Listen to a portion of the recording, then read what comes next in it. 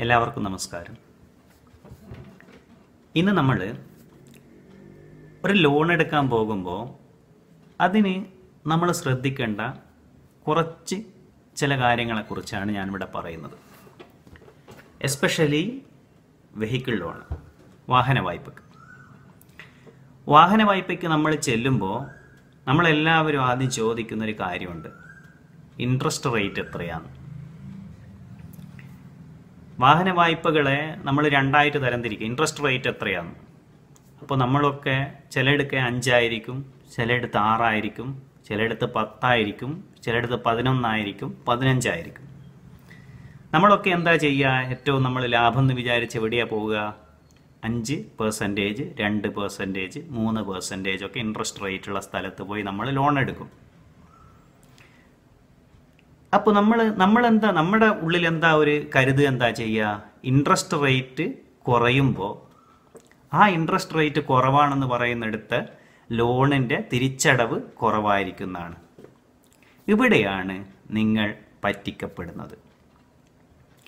നമ്മൾ ഇന്ന് ഇന്ത്യയിൽ തന്നെയും പൊതുവെ കേരളത്തിൽ പ്രത്യേകിച്ചും ലോണുകൾ വെഹിക്കിൾ ലോണുകൾ തന്നെയാണ് ഈ കാര്യത്തിൽ വരുന്നത്. കാരണം നോൺ ബാങ്കിങ് ഫിനാൻസ് കമ്പനികൾ ഒരുപാട് വന്നതുകൊണ്ട് തന്നെ ലോണുകൾ രണ്ട് തരമായിട്ടാണ് തരംതിരിച്ച് വെച്ചിരിക്കുന്നത്. വണ്ടിയുടെ ലോണുകൾ കൊടുക്കുമ്പോൾ.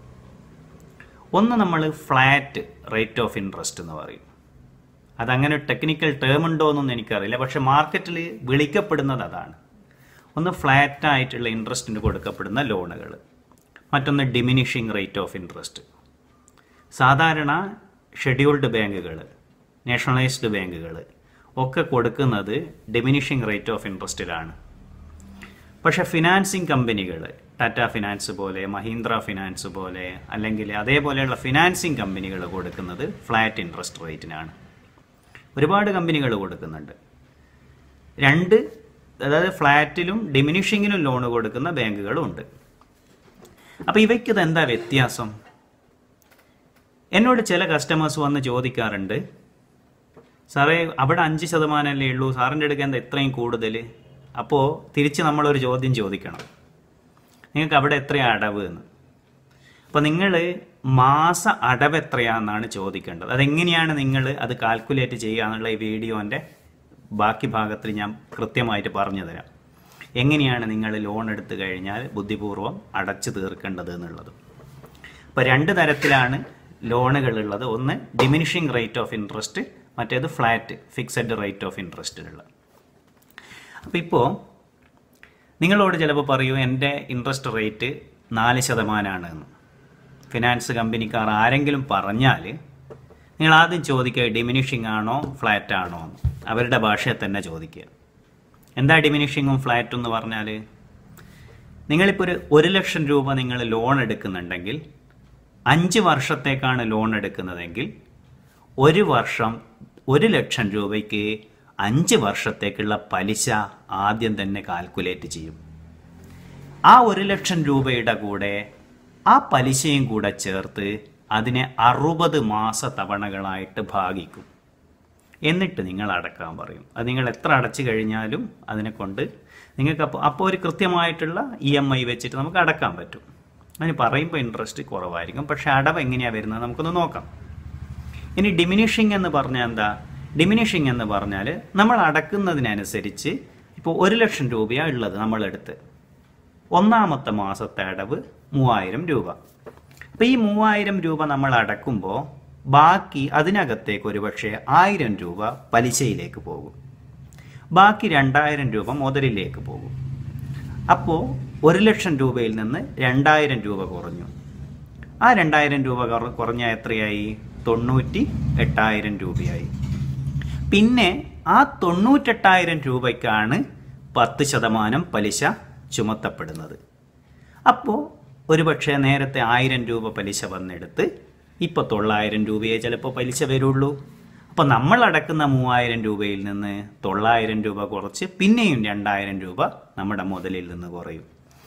നെക്സ്റ്റ് മന്ത് ആവുമ്പോൾ നമ്മുടെ ലോൺ എന്ന് പറയുന്നത് തൊണ്ണൂറ്റാറാവും. പിന്നെ തൊണ്ണൂറ്റാറായിരത്തിന്റെ പലിശയേ വരുള്ളൂ. പിന്നെ തൊണ്ണൂറ്റി നാലായിരത്തിന്റെ പലിശയേ വരുള്ളൂ. പിന്നെ തൊണ്ണൂറ്റി രണ്ടായിരത്തിന്റെ പലിശ വരുള്ളൂ. നമ്മൾ അടക്കുന്നതിനനുസരിച്ച് നമ്മുടെ മുതൽ കുറഞ്ഞു കുറഞ്ഞു വരികയും ആ മുതൽ കുറയുന്നതിനനുസരിച്ച് നമ്മളുടെ അക്കൗണ്ടിലേക്ക് ചാർത്തപ്പെടുന്ന പലിശ കുറഞ്ഞു കുറഞ്ഞു വരികയും ചെയ്യും. ഇതിനെയാണ് നമ്മൾ ഡിമിനിഷിങ് റേറ്റ് ഓഫ് ഇൻട്രസ്റ്റ് എന്ന് പറയുന്നത്. ഫിക്സഡ് റേറ്റ് ഓഫ് ഇൻട്രസ്റ്റിന് എങ്ങനെയാണ് ചെയ്യുന്നത്? ഫ്ലാറ്റ് ഇൻട്രസ്റ്റ് റേറ്റിന് എന്താ ചെയ്യുന്നത്? അവിടെയാണ് തട്ടിപ്പ് കിടക്കുന്നത്. നിങ്ങൾ ആദ്യമേ കാൽക്കുലേറ്റ് ചെയ്യുക ചെയ്യുന്നത്. അഞ്ച് ശതമാനം റേറ്റ് ഓഫ് ഇൻട്രസ്റ്റിലാണെങ്കിൽ ഒരു ലക്ഷത്തിനാണ്. അഞ്ച് കൊല്ലത്തേക്കുണ്ടെങ്കിൽ അഞ്ച് കൊല്ലത്തേക്ക് അഞ്ച് ശതമാനം നിങ്ങൾ കൊടുക്കണം. മറ്റതിൽ എങ്ങനെയാണ് ചെയ്യുന്നത്? ആദ്യത്തെ മാസം ഒരു ലക്ഷത്തിന് പത്ത് ശതമാനത്തിന് കൊടുക്കണം. പിന്നത്തെ മാസം നിങ്ങൾ അടക്കുന്ന എമൗണ്ട് അത് ആയിരം രണ്ടായിരം ആണെങ്കിൽ രണ്ടായിരം കുറയും. പലിശ കുറച്ചിട്ടുള്ള ബാക്കി എമൗണ്ട് കുറയും. ഇനി മൂവായിരം ആണെങ്കിൽ അത്രയും കുറയും. എത്രയാണോ നിങ്ങൾ കൂട്ടി അടക്കുന്നത്. അത് കഴിച്ചിട്ടുള്ള ബാക്കി എമൗണ്ടിനാണ് അടുത്ത മാസം പലിശ വരിക. പിന്നെയും നിങ്ങൾ അടക്കുന്നതിനനുസരിച്ച് നമ്മുടെ എമൗണ്ട് കുറഞ്ഞു കുറഞ്ഞു വരും. ഇത് അഞ്ച് ശതമാനത്തിന് ഫുൾ പീരീഡിലേക്കും ഇൻട്രസ്റ്റ് കണക്കാക്കുമ്പോൾ ഡിമിനിഷിങ് എന്ന് പറയുന്നത് നിങ്ങളുടെ ലോൺ എമൗണ്ട് കുറയുന്നതിനനുസരിച്ചുള്ള എമൗണ്ടിനാണ് പലിശ കണക്കാക്കുന്നത്. അവസാനത്തെ മാസമൊക്കെ എത്തുമ്പോൾ പലിശ എന്ന് പറയുന്നത് ഉണ്ടാവുകയില്ല. അതുകൊണ്ട് നിങ്ങൾ ഒരിക്കലും ഒരു വണ്ടിയുടെ ലോൺ എടുക്കാൻ പോകുമ്പോൾ ഇൻട്രസ്റ്റ് എത്രയാന്ന് ചോദിച്ചിട്ട് നിങ്ങൾ എടുക്കരുത്. നിങ്ങൾ ചോദിക്കേണ്ടത് മാസ അടവുകൾ എത്രയാണെന്നാണ് മാസ അടവ് ചോദിച്ചെടുക്കുക. ഇനി നിങ്ങൾക്ക് നിങ്ങളിങ്ങനെ ആരെങ്കിലും പറ്റിക്കാൻ നോക്കുകയാണെങ്കിൽ നിങ്ങൾക്ക് കൃത്യമായ രീതിയിൽ കണ്ടുപിടിക്കാൻ ഇന്ന് ആൻഡ്രോയിഡിലായാലും ഐഫോണിന്റേതായാലും എന്തിലായിക്കഴിഞ്ഞാലും പ്ലേ സ്റ്റോറിലൊക്കെ ഇഷ്ടം പോലെ ആപ്ലിക്കേഷൻസുകൾ ലഭ്യമാണ് ഞാനിവിടെ എന്റെ മൊബൈലിൽ ഇത് ബാങ്കിന്റെ ആപ്പൊന്നുമല്ല പ്ലേ സ്റ്റോറിൽ നിന്ന് ഡൗൺലോഡ് ചെയ്തെടുത്ത ഒരു ആപ്പാണ്. അപ്പോൾ നിങ്ങൾക്ക് അതേപോലെ ഞാൻ ഡൗൺലോഡ് ചെയ്തൊരു എടുത്തൊരു ആപ്പാണ്. അപ്പോൾ ഇവിടെ കാണിച്ചു തരാം നമ്മളെ അത് അതിന്റെ ഒരു ആപ്പിൽ വെച്ച് എങ്ങനെയാണ് ഉള്ളത് എന്നുള്ളതും കൂടെ ഞാൻ ഈ വീഡിയോന്റെ കൂടെ നിങ്ങൾക്ക് കാണിച്ചു തരാം. അപ്പോൾ അത് കാണുമ്പോൾ നിങ്ങൾക്കത് മനസ്സിലാകും എങ്ങനെയാണ് ഈ ഒരു വ്യത്യാസം അവിടെ വരുന്നത്. നമ്മൾ അടക്കുന്നതിനനുസരിച്ച് എങ്ങനെയാണ് വ്യത്യാസം വരുന്നത്? ഈ ലോണുകൾക്ക് എങ്ങനെയാണ് നമുക്കത് ലാഭത്തിലേക്ക് കൊണ്ടുപോകാൻ പറ്റുക എന്നുള്ളതൊക്കെ നിങ്ങൾക്ക് വ്യത്യാസം മനസ്സിലാകും. ഇത് ഞാനിവിടെ ഡൗൺലോഡ് ചെയ്ത് വെച്ച ഒരു ഇ എം ഐ കാൽക്കുലേറ്ററാണ് ഇത് ബാങ്കിന്റെ ഒരു പ്രോഡക്റ്റ് ഒരു ബാങ്കിന്റെയും പ്രോഡക്റ്റ് അല്ല മാർക്കറ്റിൽ ഐഫോൺ അതായത് പ്ലേ സ്റ്റോറിൽ ലഭ്യമായിട്ടുള്ള ഒരാപ്പാണ്. ഇഷ്ടംപോലെ ആപ്പുകൾ ലഭ്യമാണ് അതിലൊന്നാണിത്. ഇതിനകത്ത് എനിക്കൊരു ഇ എം ഐ കാൽക്കുലേറ്റ് ചെയ്യണം. അവർ വെറുതെ പലതും പറയും നിങ്ങൾക്ക് നിങ്ങൾ തന്നെ ചെക്ക് ചെയ്ത് നോക്കുക. ഇവിടെ എമൗണ്ട് അടിക്കുകയാണ്. ഞാൻ ഒരു ലക്ഷം രൂപ ഒന്ന് പതിനായിരം ലക്ഷം. ഒരു ലക്ഷം രൂപ ഞാൻ അതിനകത്തേക്ക് അടിച്ചു നെക്സ്റ്റ് ഇനി ഇൻട്രസ്റ്റ് റേറ്റ് എന്നോട് അവർ പറയുന്നു പത്ത് ശതമാനമാണ് ഇൻട്രസ്റ്റ് എന്ന്. നെക്സ്റ്റ് ഇനി അതിനകത്തേക്ക് നമ്മുടെ ലോണിന്റെ കാലാവധിയും കൂടി നമ്മൾ ആഡ് ചെയ്യണം. ലോണിന്റെ കാലാവധി എന്ന് പറയുന്നത് ഏകദേശം അഞ്ച് കൊല്ലാണ്. കാൽക്കുലേറ്റ് അപ്പോൾ എനിക്ക് ഇ എം ഐ കിട്ടും. രണ്ടായിരത്തി ഒരുന്നൂറ്റി ഇരുപത്തഞ്ച്. ടു വൺ ടു ഫൈവ് അതായത് ഒരു ലക്ഷം രൂപയ്ക്ക് പത്ത് ശതമാനം റേറ്റ് ഓഫ് ഇൻട്രസ്റ്റ് വെച്ച് അഞ്ച് കൊല്ലത്തേക്ക് ഞാൻ അടക്കേണ്ടത് ടു വൺ ടു ഫൈവ് ആണ്. നിങ്ങളോട് ആരെങ്കിലും ഉദാഹരണത്തിന് ഇങ്ങനെ പിടിക്കുകയാണെങ്കിൽ നിങ്ങളോട് ആരെങ്കിലും കാൽക്കുലേറ്റ് കൊടുക്കുക. നിങ്ങളോട് ആരെങ്കിലും നിങ്ങളോട് പറയാണ് രണ്ട് ശതമാനം ഇൻട്രസ്റ്റ് തരാം മൂന്ന് ശതമാനം ഇൻട്രസ്റ്റിന് തരാം എന്നൊക്കെ പറയും. പക്ഷേ നിങ്ങൾ അവരുടെ ഇ എം ഐ ഒന്ന് കാൽക്കുലേറ്റ് ചെയ്ത് നോക്കൂ. ഇ എം ഐ കാൽക്കുലേറ്ററിൽ ഇട്ടിട്ട്. നിങ്ങൾക്ക് ഉറപ്പായും നിങ്ങൾക്ക് സാധാരണ നാഷണലൈസ്ഡോ ഷെഡ്യൂൾഡ് ബാങ്കിൽ നിന്നോ കിട്ടുന്ന ഇൻട്രസ്റ്റിനെ ഈ അടവിനേക്കാൾ കൂടുതലായിരിക്കും അടവ്. അവിടെയാണ് ആ കാൽക്കുലേഷന്റെ ഡിഫറൻസ് വരുന്നത്. ഇനി ഇതിന്റെ ഷെഡ്യൂൾ നോക്കിക്കോ. ഇവിടെ നോക്കിക്കോ. ഷെഡ്യൂൾ ഈ ഷെഡ്യൂളിൽ കണ്ടില്ലേ? നമ്മൾ ഇപ്പോൾ അടവ് രണ്ടായിരത്തി ഒരുന്നൂറ്റി ഇരുപത്തഞ്ചാണ്. ആദ്യത്തെ വർഷം ഫെബ്രുവരിയിൽ ഞാൻ തുടങ്ങുമ്പോൾ രണ്ടായിരത്തി ഒരുന്നൂറ്റി ഇരുപത്തഞ്ച് ഞാൻ അടക്കുന്നതിൽ എണ്ണൂറ്റി മുപ്പത്തി മൂന്ന് രൂപ ഇൻട്രസ്റ്റിലേക്കാണ് പോയത്. പ്രിൻസിപ്പിളിലേക്ക് ബാക്കി എമൗണ്ടേ പോവുള്ളൂ ആയിരത്തി ഇരുന്നൂറ്റി തൊണ്ണൂറ്റി രണ്ട് ആ ആയിരത്തി ഇരുന്നൂറ്റി തൊണ്ണൂറ്റി രണ്ട് രൂപ നമ്മുടെ ഈ എമൗണ്ടിൽ നിന്ന് കുറയും.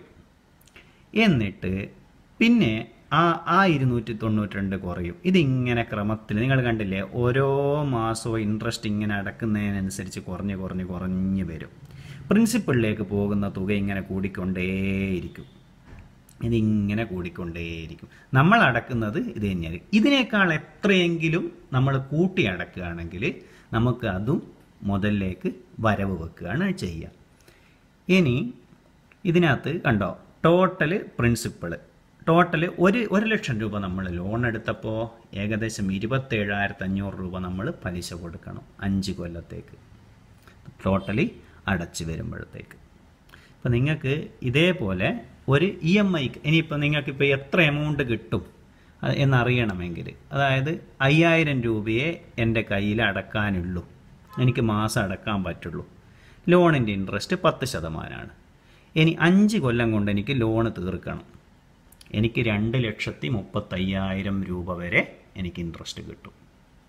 ഇനി എനിക്കറിയണം ടെനർ അറിയണം. ടെനർ എന്ന് പറഞ്ഞാൽ എത്ര കാലം കൊണ്ട് തീരും? എനിക്ക് ലോൺ എടുക്കേണ്ടത് ആയിരം പതിനായിരം ലക്ഷം. ഒരു ലക്ഷമാണ്. എനിക്കൊരു മാസം ഒരു നാലായിരം രൂപ വെച്ച് അടക്കാൻ പറ്റും. ഒരു പത്ത് ശതമാനം ഇൻട്രസ്റ്റിനാണ് ഞാൻ എടുത്തിരിക്കുന്നത്. ഒരു ലക്ഷം രൂപ നാലായിരം രൂപ വെച്ച് പത്ത് ശതമാനം ഇൻട്രസ്റ്റിന് ഇരുപത്തൊമ്പത് മാസം എന്ന് പറഞ്ഞാൽ മൂന്ന് കൊല്ലത്തിന്റെ ഉള്ളിൽ എന്റെ ലോണ് തീരും. ഇങ്ങനെ നിങ്ങൾക്ക് റേറ്റ് ഓഫ് ഇൻട്രസ്റ്റ് ഇവിടെയാണ് നമ്മുടെ പോയിന്റ് ഉള്ളത്. റേറ്റ് ഓഫ് ഇൻട്രസ്റ്റ് എന്ന് പറഞ്ഞാൽ നിങ്ങളോട് ആരെങ്കിലും പറയാണ് ഒരു ലക്ഷം രൂപ ലോൺ എടുത്താൽ അതിന് നിങ്ങൾക്ക് അടവ് വരുന്നത് മൂവായിരം രൂപയാണ്. അതിന്റെ ഏകദേശ കൊല്ലം വരുന്നത് നാല് വർഷമാണ്. എന്ന് നിങ്ങളോട് ആരോടെങ്കിലും പറഞ്ഞ് നിങ്ങളോട് പറയാണ് ഈ ലോണിന്റെ ഇൻട്രസ്റ്റ് നാല് ശതമാനമാണ് അഞ്ച് ശതമാനമാണെന്ന് പറഞ്ഞാൽ നിങ്ങൾ ഇങ്ങനെ ഇട്ട് നോക്കുക. എന്റെ കാൽക്കുലേറ്റർ കൊടുക്കുക പത്തൊമ്പത് ശതമാനമാണ് പത്തൊമ്പത് ശതമാനമാണ് പക്ഷെ നിങ്ങളോട് ചിലപ്പോൾ പറഞ്ഞിട്ടുണ്ട് അവ രണ്ട് ശതമാനം മൂന്ന് ശതമാനമാണ് അവർ കള്ളം പറയുന്നതല്ല. പക്ഷേ അവർ പറയുന്ന കാൽക്കുലേഷൻ വേറെയാണ്. അതുകൊണ്ട് പറ്റിക്കപ്പെടാതിരിക്കുക. എന്നിട്ട് എന്താ ചെയ്യേണ്ടത് നമ്മൾ? നമ്മൾ ചെയ്യേണ്ട ഇത്ര മാത്രമേ ഉള്ളൂ. ഈ ഒരു ആപ്പ് നമ്മൾ ഡൗൺലോഡ് ചെയ്തെടുക്കുക. ഏതെങ്കിലും ഒരു ഇ എം ഐ കാൽക്കുലേറ്റർ എന്നിട്ട് അതിൽ നിന്ന് അറിയുന്ന ആരോടെങ്കിലും ചോദിച്ച് കാര്യം മനസ്സിലാക്കി മാത്രം ലോൺ എടുക്കാൻ പോവുക. വെറുതെ ഒരു പത്ത് പതിനായിരം രൂപ നിങ്ങൾക്ക് കയ്യിൽ നിന്ന് കൊടുക്കേണ്ട കാര്യമില്ലല്ലോ. മറ്റു പലതിനും നിങ്ങൾക്ക് ഉപയോഗിച്ചുകൂടെ. അപ്പോൾ ഒരുപക്ഷെ കുറച്ചെങ്കിലും മനസ്സിലായിട്ടുണ്ടാവുമെന്ന് വിചാരിക്കുന്നു. രണ്ട് രീതിയിലാണ് ലോൺ ഉള്ളത് എന്ന് എങ്കിലും മനസ്സിലാക്കുക. ഇൻട്രസ്റ്റ് റേറ്റ് വെച്ച് നമ്മൾ ഒരിക്കലും ലോൺ എടുക്കാൻ പോകരുത്. അതിന്റെ അടവ് വെച്ചോ ഡിമിനിഷിംഗ് ആയിട്ടുള്ള ലോണ് തന്നെ എടുക്കാൻ ശ്രമിക്കുക. എല്ലാവർക്കും താങ്ക്